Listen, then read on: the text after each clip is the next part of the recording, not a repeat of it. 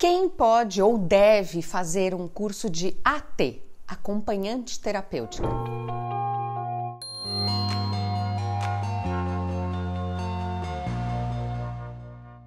Uma das figuras mais importantes do grupo de desenvolvimento de uma criança que está com atrasos, que está com algumas dificuldades, com prejuízos, com questões no seu desenvolvimento que estão causando sofrimento para ela e para a família.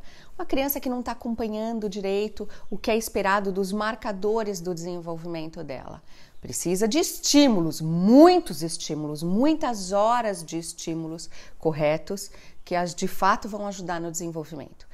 Pais são extremamente importantes, profissionais especializados, super importante, mas tem um papel de uma figura nesse grupo que é acompanhante terapêutico, que é fundamental.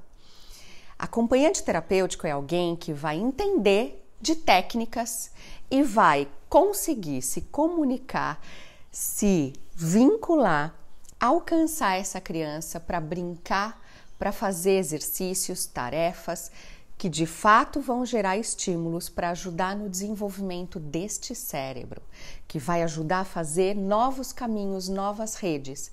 Essas sinapses, né, entre os neurônios, que são esses novos caminhos, elas só são feitas a partir de estímulos desafiadores. Mas para a gente dar estímulos desafiadores, essa tarefa precisa ser legal.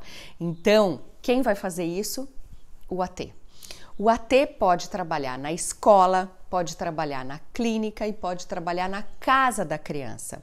Como a gente precisa de muitas horas de estímulo todos os dias, ter alguém que tenha essa capacitação, que saiba aplicar programas comportamentais, que entenda de etapas do desenvolvimento, que entenda que, bom, eu vou gerar esse estímulo para essa área cognitiva aqui do cérebro. E a hora que a criança já estiver fazendo 70, 80% das vezes que eu peço, eu já passo para a etapa 2, já passo para a etapa 3. Isso tudo tem bem explicadinho no nosso curso de acompanhante terapêutico, tá? Eu vou deixar o link aqui embaixo para quem tiver interesse.